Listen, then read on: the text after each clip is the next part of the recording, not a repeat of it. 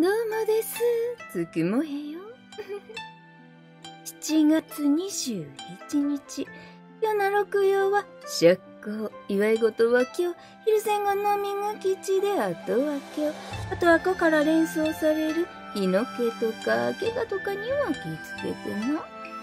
樹花は土のと、田畑を示す影の土。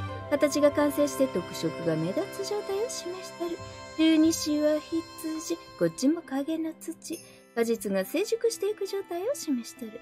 両方とも影の土の性質や世界、お湯五行の流れはいいわ言うて、良くも悪くも勢いを増す行けや。釈光って六曜で一番怖いものの中に火は出な。